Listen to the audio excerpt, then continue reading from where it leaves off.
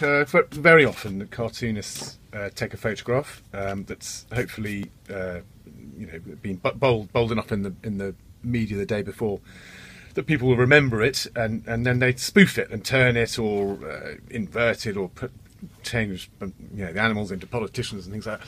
So you've got this great photograph here of uh, Ed with um, his exciting jumper and his wife and the kids. So what I'm going to do, I'm going to change. I'm going to have Ed here, Ed Balls uh, as dressed the same as his uh, wife, and basically the two kids are going to be scrapping with each other, and it's going to be uh, Blair and uh, Brown. Uh, which that kid does actually look a bit like Gordon Brown. But anyway, so the two kids are trying to get to each other, and the parents are trying to hold them apart.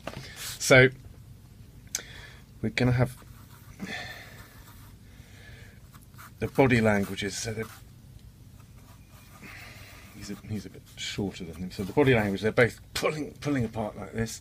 So I think the two hands here holding. And again, that's Blair. So his body language is leaning over here, and she is. He really does look like Gordon Brown, doesn't?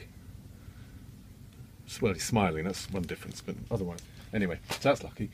Um, so she's holding, and and here, and again, his body language is he's there trying to, he's leaning forward towards Blair, something something like that. And Sophie Brown's, uh, uh, Miliband's legs would be like this, and then it should be like this. and then his arms out there. So all that there, so they're pulling apart like that, and the kids heading towards each other like that.